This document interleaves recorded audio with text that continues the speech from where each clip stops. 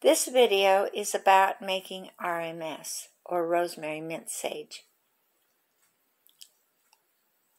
This treats um, a lot of different skin problems, bug bites, um, chiggers.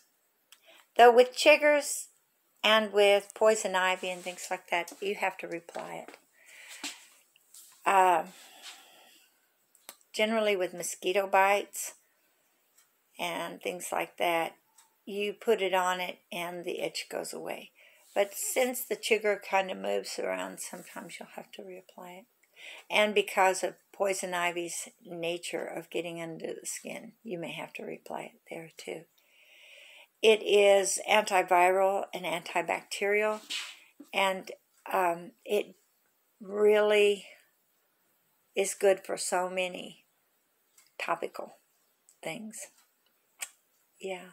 I've made a tea out of the three and uh, uh, used it when I had a sore throat or a mouth sores, and it also relieves that very quickly. This is not a tea. This is a topical solution, and I hope that um, you can get something out of the video that will make your life better.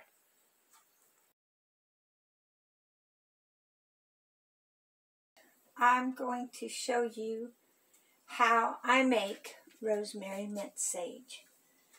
It is one of the easiest things to make. Now these have all been washed and uh, drained.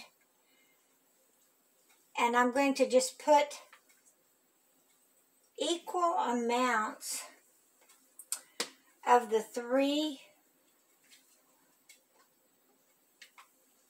the three plants, the rosemary, the mint, and the sage.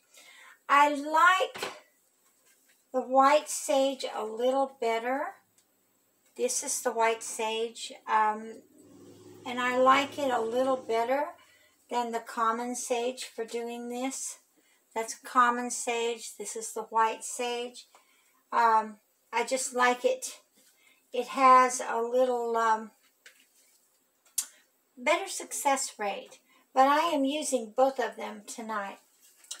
Then I am using mint and I am using the whole plant, but I am not using any plants with flowers. And that was kind of difficult because our mint is in flower right now.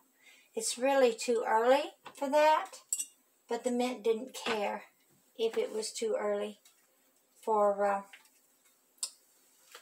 the flower. It flowered anyway?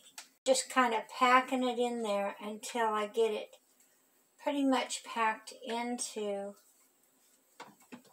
the jar. Equal amounts of rosemary, mint, and sage. That's, that's the whole recipe right there.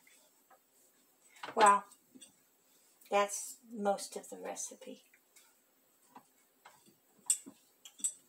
Okay, I think I've about, looks like it's pretty equal. I'll put a little bit more rosemary in it and squish that down in there. You're supposed to um, have the water boiling when you pour it over the clean jar, the clean herbs, and then cap it.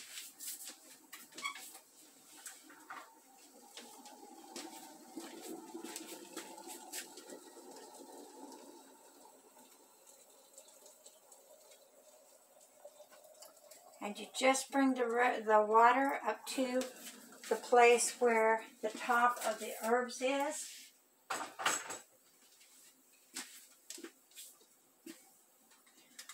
I washed and heated the lid.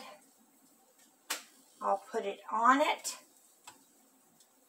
and I'll kind of turn it and be sure that those herbs are all down in that water.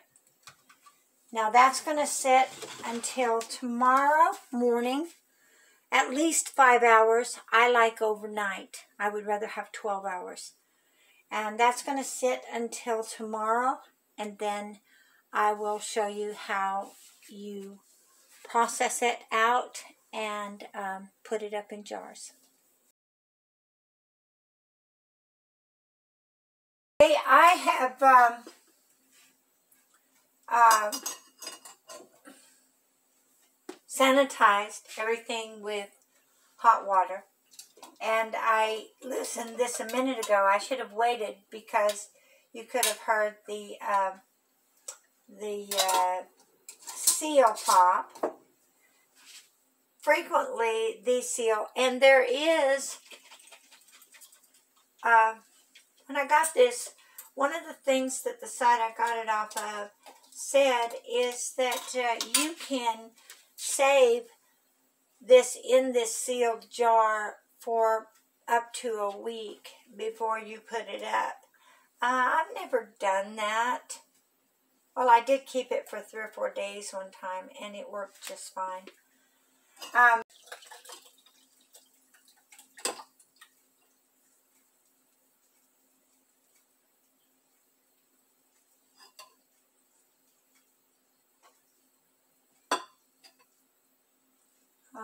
yeah.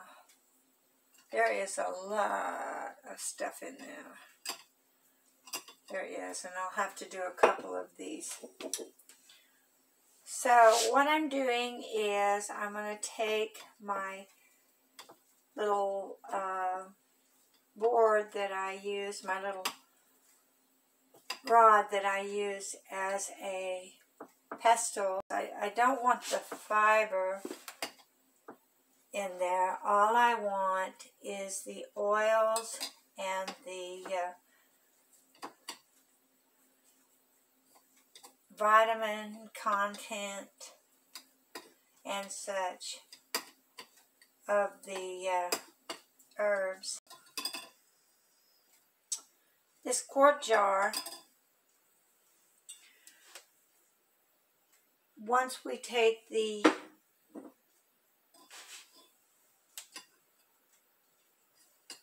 herbs out of it, we'll make a little, whoops, whoops, whoops, whoops, whoops, that came off of there. We'll make a little bit more than a pint. Not quite three cups.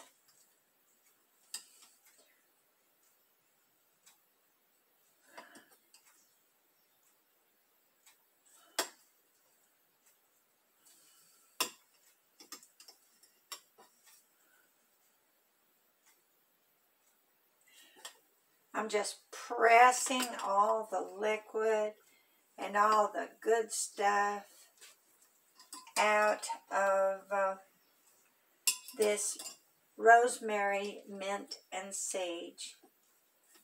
Leaves, stems.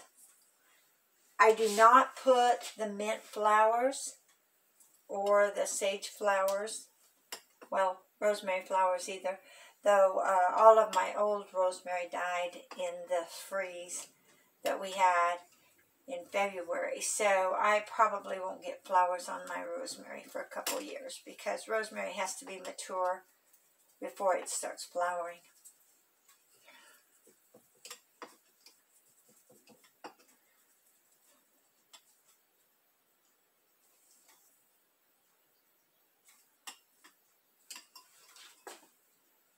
And that is pretty well pressed. Okay.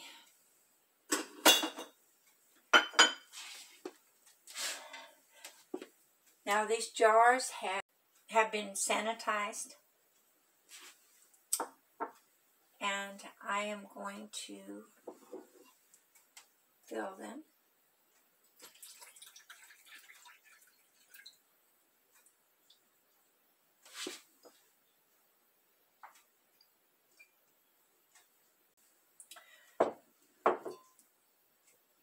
These have a, a long shelf life because um, they are uh, so antibacterial,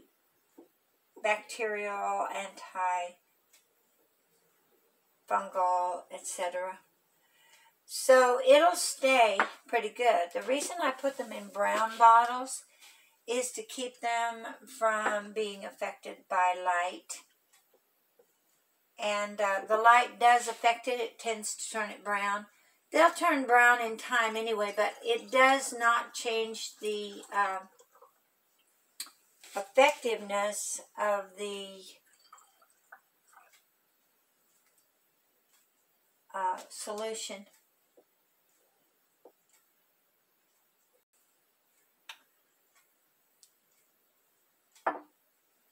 I expected it to be closer to the quart, but it isn't. The reason I push on that is because these silicone uh, funnels have a tendency to lock into the side of that and it keeps it from from uh, flowing down through there. It airlocks it. So, there is about a half a bottle.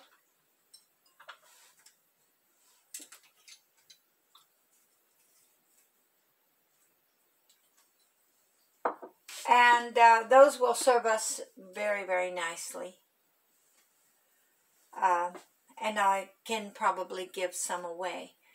Usually I try to give the smaller bottles away, but I don't have any of the small bottles right now. I hope you gained some good knowledge and um, maybe something that will be helpful to you. And I will see you again next time in my kitchen or in my studio or perhaps in my adventure bus.